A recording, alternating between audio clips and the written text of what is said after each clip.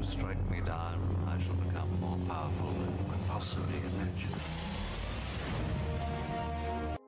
Welcome back everybody, it is Bulldog here. This is video number two in the series. We are looking at starter guide or starter decks to build for Splinterlands. We covered life yesterday. Today is death. I'll try to run through our intro a little bit quicker this time.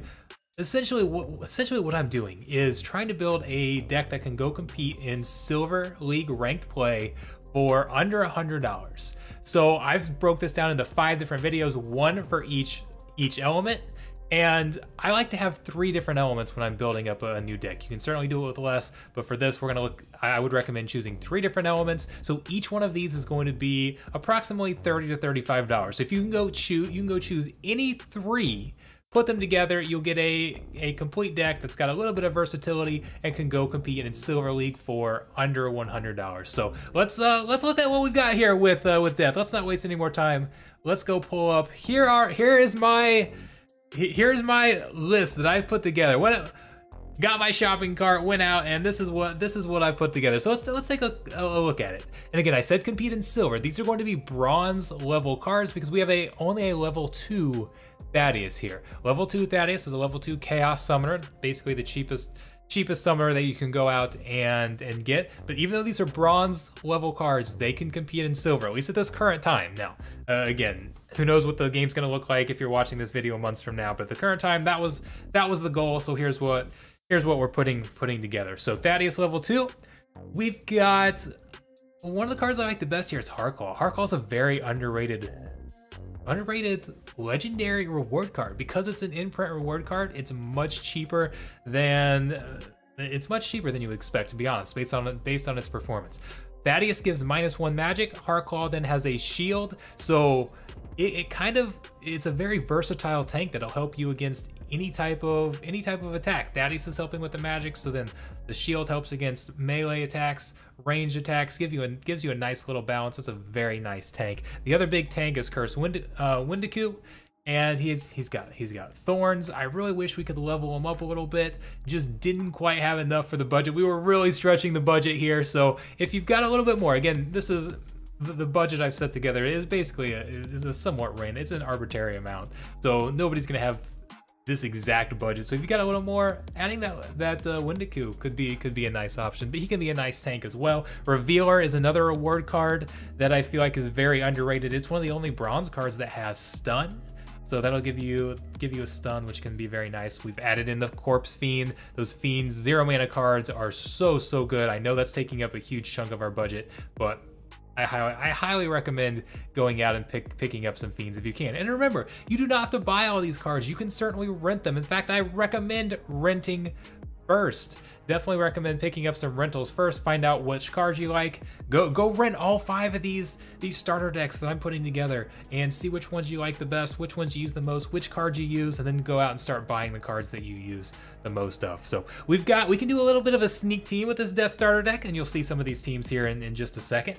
But Silent Shavi is one of the best bronze cards out there. That level three Silent Shavi has has outstanding stats to, to go with the with um with its sneak attack. You compare it with Undead Badger, who's another sneak card that's very, very fast. So a fast sneak and then Shavi, those can, those can be paired really well together. I like throwing together a snipe team. So Magi Necrosi is a is a great card, and then pairing uh, pairing that with Death Elemental. Death Elemental again is kind of an expensive card, but that snipe, the the double magic snipe with Death Elemental and Magi Necrosi with Thaddeus decreasing the the health by one, you can pick you can really pick off some cards there. And I really, really like that team. So even though Death Elemental is a little expensive as well, I did put him in put him in there because I, I, I, do really like that combo. And then you've actually got some really good range attack. We saw with Life that we were trying to build a range team because Life, the Life Summoner gives plus one range here, right? You don't necessarily get plus one range, but with Soul Strangler,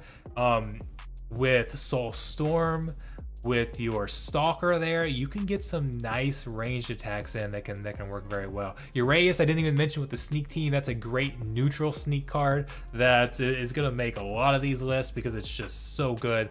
Absolutely love that love that card. So, anyways, let's go let's go look at some actual battles, shall we? Let's pull them up here. Let's start with sorry, let's let's start with our, our, our little bit of a ranged group here. So, and you can see this is one of the most common teams at the bottom. An Obsidian Magic team with Unicorn Mustang up front is a very common team that you'll face.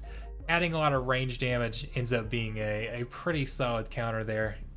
And this Life Sapper. So this uh this Life Leech is a card that I, or is an ability that I really like at the lower levels. I feel like it's more powerful at the at the lower levels because that extra one health that you get, and you'll actually you'll really see it shown off here in one of the, one of these other battles. But that extra one health you get can be a, a really big deal. And Life Leech gives you half of your health back half the damage you deal back in health rounded up. So it's only doing one damage but it still gets back one health because that that gets rounded up. So as you as you level up and kind of increase that magic damage even if you go up to two magic damage you're still only getting one life leech back. So it, it's very powerful on those lower level cards where that that kind of gets rounded up and that one health can make a very big difference. So i like those life leech cards too. Here's another one. This is a we're going to show off both the sneak and the snipe in the same battle. Lamacron is unbeatable down at bronze, right? You can't beat that Lamacron. This team you can.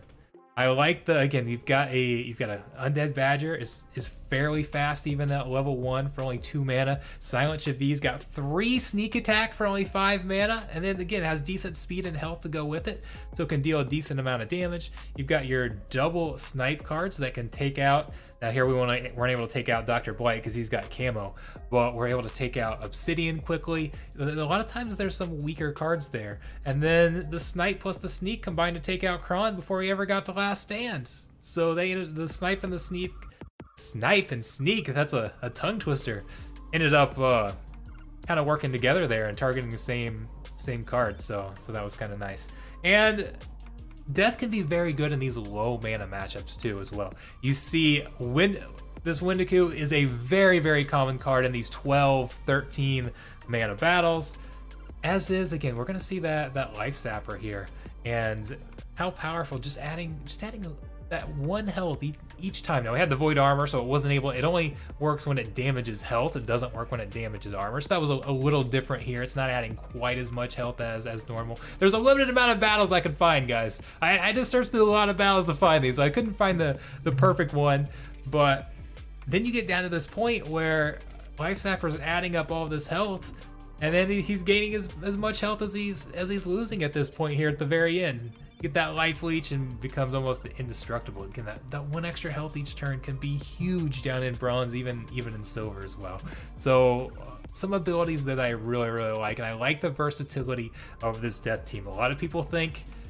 A lot of people feel like, oh, I, I only want to run Thaddeus if I feel like the other team is running magic because you've got that minus one magic, and that and that is is certainly better. Thaddeus is certainly better if the other team is is running magic, and you can kind of counter that a little bit.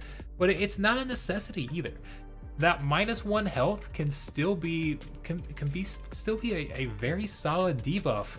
And then you've got a lot of different lineups you can run with, with death. Like I said, you can go ranged, you can go magic with those life leech, you can go with uh, with some sneak, you can go with snipe. There, there's a lot of different different things. You can start to add some more legendary cards if you want to expand on top of this and do even do even more things. So I know a lot of people do not like Death, but Death has been Death has been one of my favorite ones. And when I'm building out some of these new accounts, this is one of this is one of the teams that I that I actually go with. I, I do use Death because I, I like it. I like it quite a bit. It feels like I feel like it can adjust to whatever the rule set is very, very well. Some of these, some of these summoner, these three of the chaos of the chaos summoners give plus one attack. So you've got plus one ranged with life. You've got uh, earth that's plus one magic, and then you've got fire that's plus one melee. Those can be very, very powerful, and they, they certainly are very good. But they also lose a little bit of flexibility, and sometimes it's not okay. You build a life deck and but then the, the rule set doesn't favor using ranged attack or whatever the case is. So I feel like Death and Water have a little more flexibility, and I like building those out because of because of that flexibility. So they, they tend to be some of my choices. But anyways, we're gonna go through all five. We are only halfway through. Not even halfway through. We're only through two of the five. Make sure you guys hit that like button, hit that subscribe button, turn those notifications on so you get notified the next three days as these videos come out. Let me know in the comments below. What cards do you think I missed? What cards in here do you not like that you think maybe I shouldn't have added in? Which ones did I did I leave out that I should have put in there? Which which of the splinters are your favorite? Is death one that you're choosing? If you're if you're building if you're starting a new account and you're choosing three elements to work on, is death one that you're picking? I want to know what you guys thought. I want to know how you think I did. So let me know in the comments. I'll see you guys tomorrow. Thanks a ton.